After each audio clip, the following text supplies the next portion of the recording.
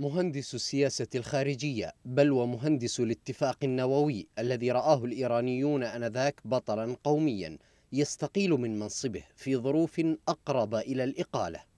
ووراء هذه الحادثة تكمن تفاصيل عميقة عن تيارات متصارعة داخل المنظومة الحاكمة منذ أربعين عاما. صحيفة الجارديان البريطانية تعتبر استقالة محمد جواد ظريف المسمار الأخير في نعش الاتفاق النووي الموقع بين طهران من جهة والصين وروسيا وأمريكا وفرنسا وبريطانيا وألمانيا من جهة أخرى.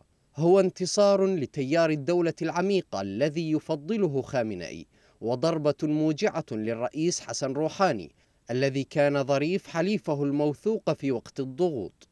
ما يعني أن روحاني بدأ يفقد أذرعه التي يستند عليها في لعبة التجاذبات داخل البيت المؤسس على فكرة الولي الفقيه.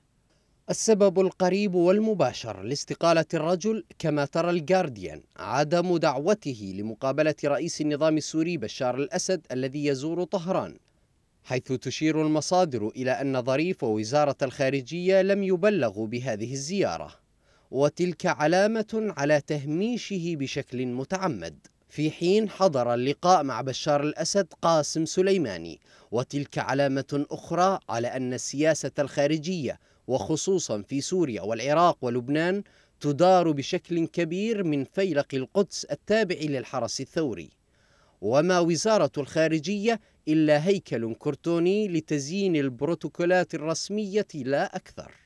بعد ساعات من استقالته ذكر ظريف في مقابلة مع صحيفة الجمهورية الإسلامية أن الصراع بين الأحزاب والفصائل في إيران له تأثير السم القاتل على السياسة الخارجية. تصريحات ظريف تشير إلى أنه استقال بسبب ضغوط من تيار عارض دوره في التفاوض على الاتفاق النووي التاريخي مع القوى الكبرى عام 2015 استقالة ظريف رغم معقوليتها سياسيا إلا أن لها في إيران معاني ودلالات أخرى.